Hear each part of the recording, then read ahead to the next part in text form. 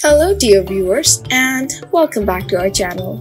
Today we have an exciting story to share with you about a frightening incident that happened on the set of Hallmark movie. You know Kavan Smith, right? He's that charming actor who plays alongside Pascale Hutton in When Calls the Heart.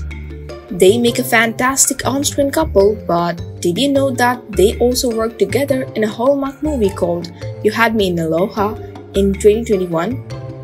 Well, that's where our story begins. Kavan Smith was on the set because his character Ben was about to do some cliff diving.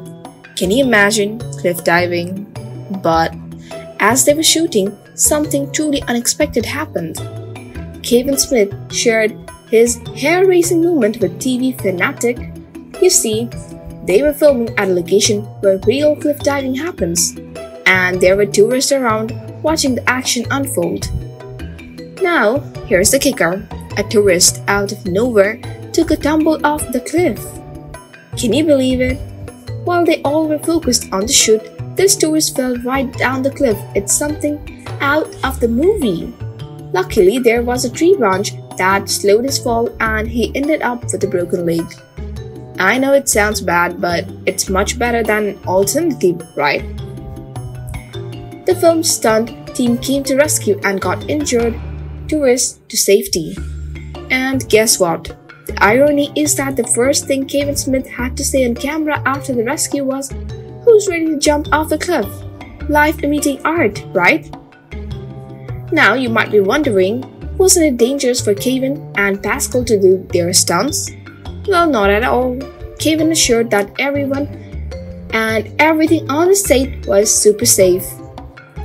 Despite witnessing that heart pounding movement, both Kavan Smith and Pascale Hutton had no safety concerns when it came to their stunts. Everything was carefully planned and executed to perfection. And you know what? Filming at such breathtaking locations in Hawaii added an extra layer of beauty to the movie. In a behind the scenes video, Pascale Hutton even said Hawaii is the perfect place to shoot a romantic comedy because it's the most beautiful place on earth. Kavan Smith echoed Pascale's sentiments, saying, It couldn't have been better anywhere else in the world. Can you imagine being surrounded by all the natural beauty while working? It must have been a dream come true. And here's something cool. Did you know that Kavan Smith and Pascale Hutton actually came up with the concept for you Had Me at Aloha themselves? It all started when Kavan learned that another Hallmark film was being shot in Fiji.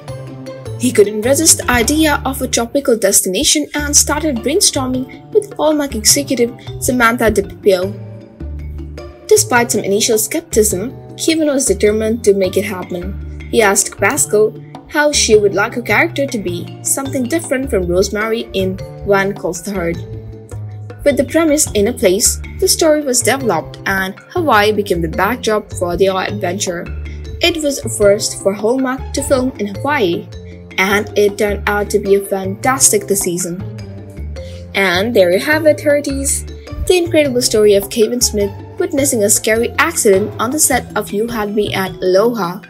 But don't forget, despite the unexpected twist, everyone was safe and sound.